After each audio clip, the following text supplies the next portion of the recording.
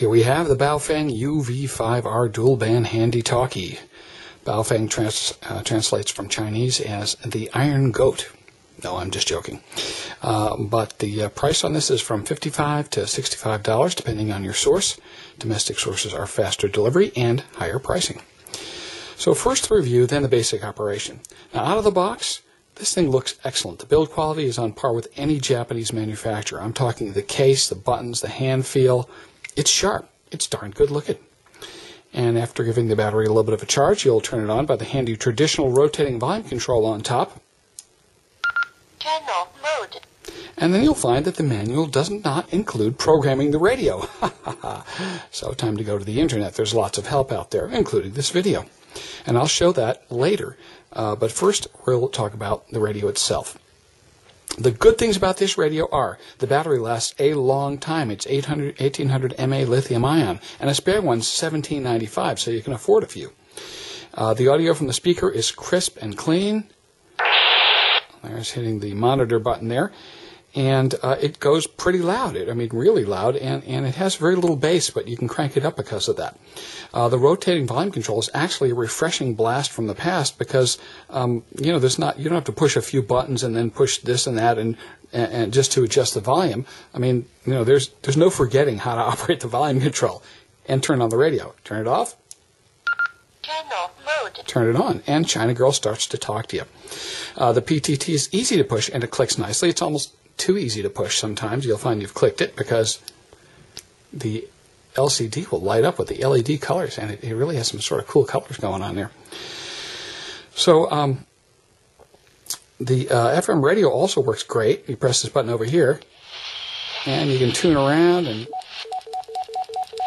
and it sounds, it sounds pretty darn good. Let's turn that off and uh, it automatically returns to the ham bands. If a signal comes up on the ham bands, it'll just get right off at the FM radio and go back to, say, two meters if that's what you're on. Now, the menuing system is easy to use once you get the hang of it. And all the accessories come with the included uh, box, and the, that includes the earphone, the mic combo, the drop-in charger, and uh, the TX audio in this. Another feature is very clean. It's fully deviated, and the frequency was pretty much spot on on the frequency counter. It was as close as I've ever seen radios out of the box. Um, the radio is already cut, and it transmits over most all of its receive range. The only place I didn't see it transmit was the very bottom, right around 400 megahertz, but after 410, it started generating power. Um, the China Girl announcer inside is sort of sort of cool. Uh, Menu. hit the buttons, and Hour. It tells you what's going on, especially on the menu items. That's that's sort of nice. Um, so is the multicolored LED because you can choose separate colors uh, for what you want. RX, TX, just when you're pressing buttons, and there's orange and blue and purple, and they really look nice. Um, and it's so cheap that you can buy several and really, you know, not get depressed if you drop one in the lake. You know, the bad things are, and yes, I'm reading from a script here, so I keep myself organized. Uh, the programming is difficult from the keypad. Uh, once you get the hang of it, like I said, no problem. It's just a lot of keystrokes because this is really sort of a generic business ham talkie. Doesn't really know that you're just on the ham bands. Uh, the programming software should fix that.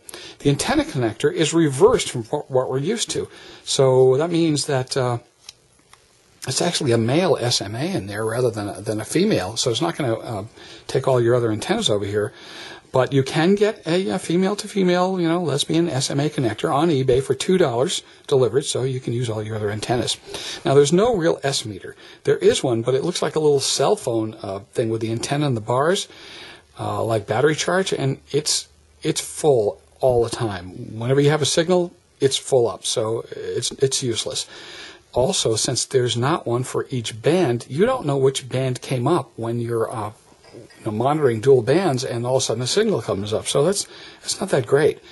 And another really strange thing is the volume control does not go all the way to zero. How do you like that? It goes low. I'm going to turn the put the monitor switch on and turn it down.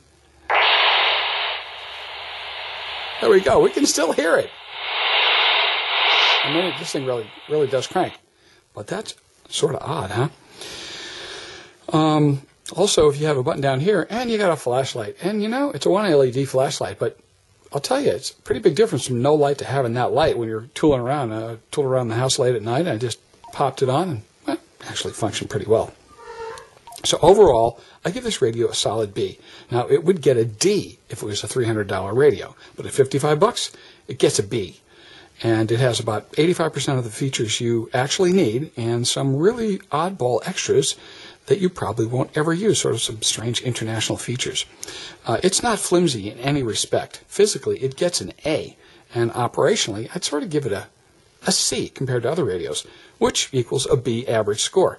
And value-wise, of course, it's an A+. plus. Pretty nice little clip. Battery removes with a push button here. Bam, like that. Slides back on. I'll also show you a picture of the inside of the uh, guts of the radio. There we go, back on. Now, operational. Let's assume you already have a Baofeng in hand, and here's what you need to do to get going because you'll be terribly frustrated if you're trying to figure this out from the manual. And it will take you a little while online, but you, you probably finally figure it out. I'll run you through this stuff because you do need to set up a few things first. First, turn it on with the top rotating control. Oh, I hit the transmit button there. Muted the China girl. And be sure you're on frequency mode. You hit the big orange button. That's your VFO uh, memory recall. Frequency mode. Channel mode. Frequency mode. So I'm going into frequency mode. That's our VFO mode. And um, here's what's going to go on here. We're going to use the up and down. Well, let's go into channel mode. I'm on the weather channel over here. Let me get off the weather channel.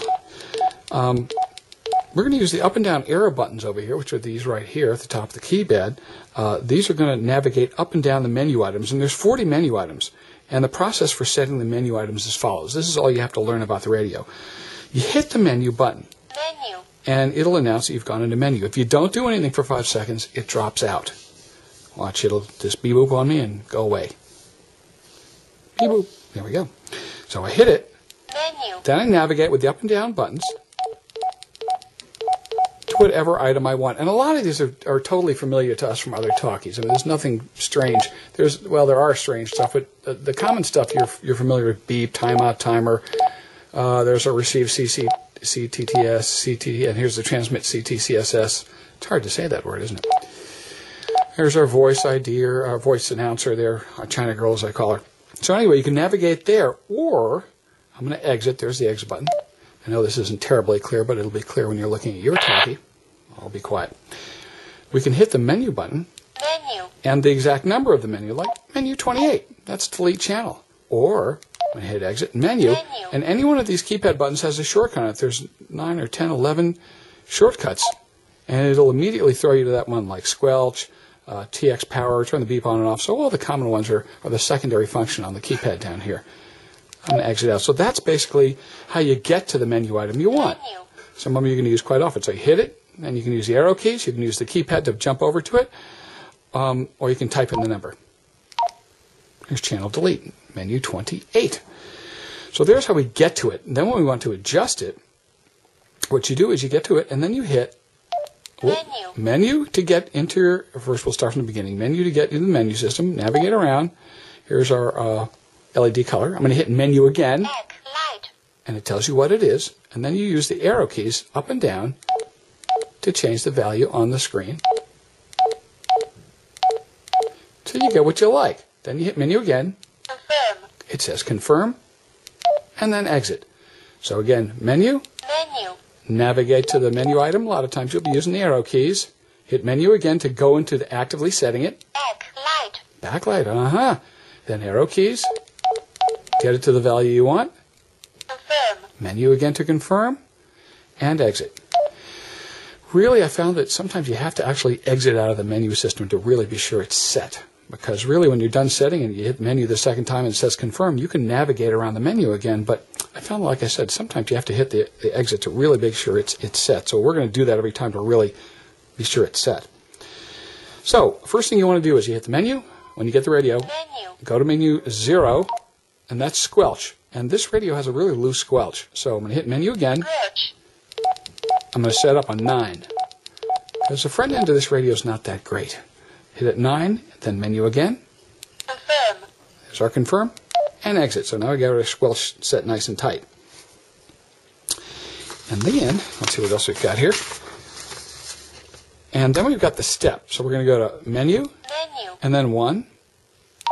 And that's our step. Whatever you like, you, you can set it to whatever you like. I like 5 kilohertz. If you're on 450, set it to 25 or whatever. Hit menu again to get it to actively be able to set it. And when you do that, the little arrow will be pointing down. Confirm.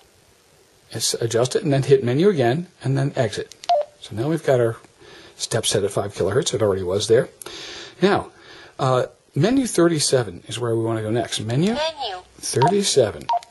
And there's three menus over here that, are, that have to do with squelch tail killing. And what they do is sort of slow down the RX-TX turnover time so it kills the, the squelch tail on a repeater. And each of these is subtly different. There's one for repeater and one for simplex or whatever that sort of actively basically slow down the RX-TX turnover time. And it, as it comes from the factory, it seems to take a full second when you let go to hear something out of the speaker. We don't want that. So what we want to do is menu 37, 38, and 39, turn them to the off position. Menu Menu. 37. I already have them set to off. And hit menu again. And then go ahead and adjust it. It'll be up in a number. Adjust it down to off. Hit menu again. Confirm. Then I'm just going to, without exiting, I'm going to go up to the next one. Oh. It's three of them 35, 36, 37. Hopefully that's what I said before 35, 36, 37. And turn this stuff off. Okay, I'm going to exit. Now, menu 29, 30, and 31 are your LED backlight colors. Menu. Menu 29, WT is just when you touch buttons. Whatever you like. You got purple, orange, and blue. Uh, I've got, uh, you know, I keep changing them, just sort of having fun. And of course, they do eat a little bit of battery power. So if you want to save maximum batteries, you can turn all the LEDs off on 29, 30, and 31. Be sure you are in VFO mode, which is frequency mode. Channel mode. Frequency mode. frequency mode. Okay, you don't see any numbers on the right. You don't want to see any numbers over there. Now we're going to go ahead and be sure that on memory, Menu. uh, on menu number, we hit menu, going up to menu. What is it? Five. Wide. We want this set wide, so we hit menu and be sure it's on not on not narrow but wide. Hit menu again, Confirm. confirm, and exit. I like to hit exit each time. It seems to really make it take. Then we're going to want to be sure that our offset is set. So menu. Menu. I'm just going to sort of hold the button down and scroll up because I don't remember exactly what menu slot this is in. It's up in the high numbers. 26. Menu 26 is offset. I hit menu again Offset. Frequency. and I can adjust it like this up and down here. It's 0.600 for your 2 meter repeater offset. Confirm. Hit menu again to confirm and exit. Next, we want to be sure that the negative symbol is set. It just sets the, the, the symbol on the display, I believe. So Menu. menu, and let's find out which one that is. That's right around the same area. SFTD. Hit menu, and you can scroll through simplex, plus and minus. This is minus. Confirm. Hit menu again for confirm. Looking good. And uh, then exit. Now we've got our uh, CT CSS tones to set. So menu Menu. 11, 1 1, and we get the receive tone. We hit menu. And every time you hit the button, it's going to start down at 67. Hold it down, you can scroll up to your tone. In this case, 114.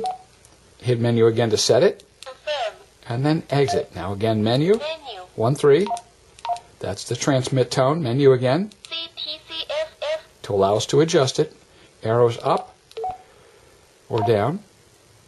And get to your tone. Hit menu again to confirm. Confirm. and exit. Now we're going to put the frequency into a memory. We've got everything set up, and uh, I'm going to put 146.76 into memory zero.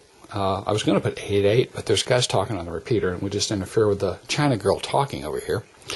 So we're going to go ahead and we've got we've uh, in VFO mode, and we press our 146.76, One four six seven six zero. and we've got our PL tone set, our negative offset, and our 600 kilohertz, and our wide setting. And then we go ahead and press menu. Menu. 27. That's the set your channel menu. And then hit menu again. Channel. And then when you use the arrow keys, you'll see which channel slots have frequencies in them. CH it says in front of it. Okay? So you want to find one that's blank. Zero's blank. Okay, very good. And I'm going to hit menu again. Proceeding. Memory receiving memory, and hit it again, memory channel, and then exit. Now we've got to actually key in the offset frequency. Even after setting the offset on the negative symbol, you still have to do it by hand. So we're going to go, we know that's 146.16, 600 kilohertz down. 1, 4, 6, 1, 6, 0, And it will know that it still needs a transmit frequency. If you're doing public service frequencies, you just need the receive frequency. Now we do menu, menu, 27, menu again, channel, hit it again, transmitting memory, transmitting memory, memory hit channel, it again, and exit. Now when we go to our channel, Channel mode. channel mode, we see zero come up on the right of the display, hit the PTT, and bam, it goes to 1.6, and you see I have it set up for changing the LCD, uh, LED color on the LCD. So that's how you do it. Like I said, turn the unit on and off if it's not responding correctly when you're trying to input channels, and uh, after a while you'll get the knack of it. With the software, that should really clear things up, we hope. so load up some memories, have some fun, and remember you're also memorizing your TX power level into that memory channel, so set it for low or high. I believe it's 1 watt and 5 watts, uh, and it'll just hold it in there. And this HT you know, operating system definitely has quirks, but um, you know, no, none of the HTs are really easy to program these days. This is just a little worse, but it's you know so much cheaper. So, and, and the worst thing about these China Girl talkies is that really that the Chinese government is taking all that Western money we send them and, and giving their companies big incentives to produce low priced goods and capture all these strategic markets like technology and solar panels and stuff. And uh, this gives us sort of irresistible goods, but it also ensures our complete inability to manufacture anything in the future. And uh, right now, I believe Japan is on the chopping block. Who this is aimed at, not us. Uh, you don't need an army anymore. You just, you know, sell a $300 HT for 55 bucks. So there we go. The Baofeng UV-5R. Thumbs up.